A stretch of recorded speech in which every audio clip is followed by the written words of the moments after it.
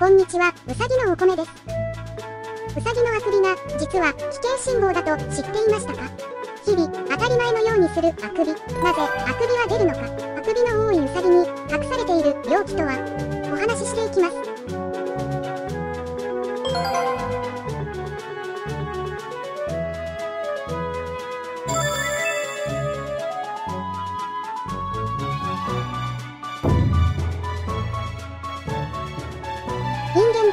ウサギも眠たい時や寝起きにあくびが出ます。実は眠たい時にあくびが出る原理についてはまだまだ解明されておらず謎が多いのですが有力な説はあくびで脳に酸素を送り脳を活性化させるため。またはあくびで脳の温度を下げ血流を良くして脳のオーバーヒートを防ぐため。とも言われています。目覚めた時にあくびをするのは体を起こそうとしているということなんですね。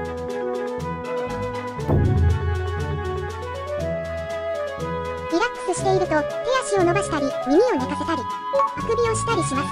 このような無防備な姿を見せるのは飼い主さんを信頼し安心している証拠ですね。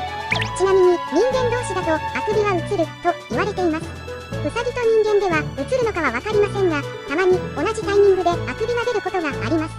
たまたまなのか我が家だけなのか皆様はどうでしょうか？ぜひコメントで教えてください。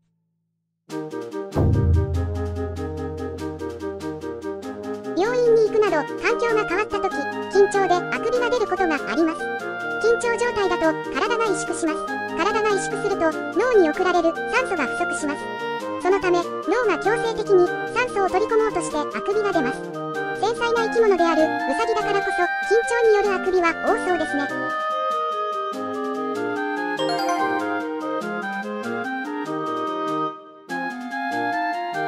日常生活でウサギがあくびをすることは珍しいことではありません。あくびをすること自体は悪いことではありません。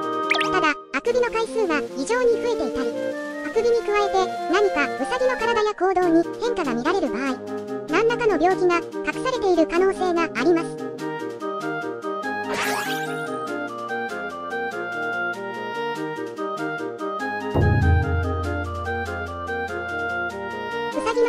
生涯伸び続けます。不正攻防とは歯が伸びすぎて噛み合わせに異常が生じた状態のことで、違和感や痛みが起こり、口を動かしたり、あくびをする回数が増えます。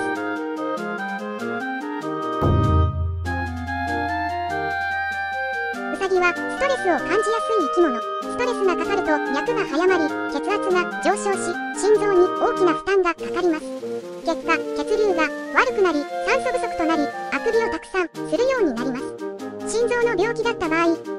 増加以外にもお腹の張りや食欲低下、呼吸が速くなるといった症状も見られます。